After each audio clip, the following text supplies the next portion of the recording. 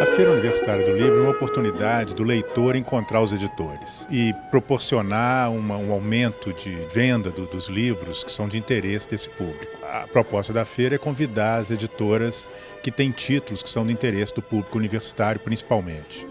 E então as, as, as, editoras apresentam seus livros e os alunos, professores e o público em geral que tem interesse nesse, nesse tipo de títulos podem comprar com desconto. Então é uma oportunidade boa para todo mundo.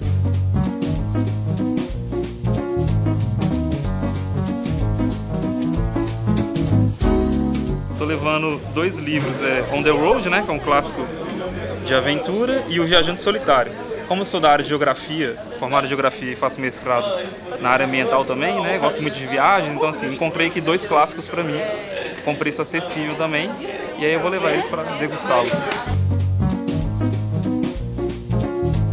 A gente encontra reunido no mesmo espaço a literatura que a gente trabalha nas nossas pesquisas e de algum modo também sempre eles trazem uma editora nova, então é uma oportunidade que a gente tem de encontrar os conteúdos que a gente ensina ou que a gente tem interesse num trabalho particular, num preço também é, interessante.